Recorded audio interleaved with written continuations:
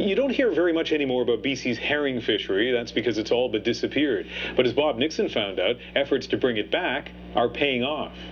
The journey begins under a Squamish pier at low tide. That was fun.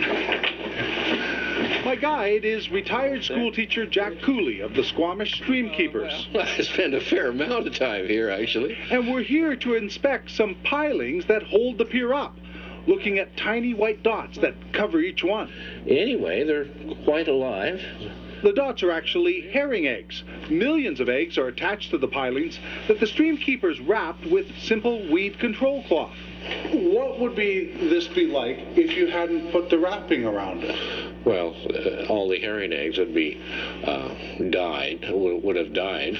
The uh, herring population of Howe Sound would be much, much less than it is at the moment. Three years ago, the stream keepers decided to try to revive the Howe Sound herring population. It's a small but important fish, feeding salmon, whales, and seal, netted for a roe considered a delicacy in Japan. It's not threatened, but the stream keepers were concerned. Sure, herring laid their eggs on seaweed here, but By chance, we walked in underneath here and noticed that uh, the herring eggs were uh, no longer alive down there. Like pilings up and down the BC coast, these were coated with creosote. Creosote isn't just a good preservative, it's a killer. It acts as a pesticide. In the state of Washington, they not only have banned new creosote pilings from going in, they're taking the old ones out.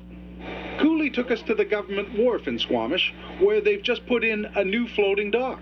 Here we are, putting in new creosoted pilings still, and the evidence is obvious. Uh, we shouldn't be doing that sort of thing.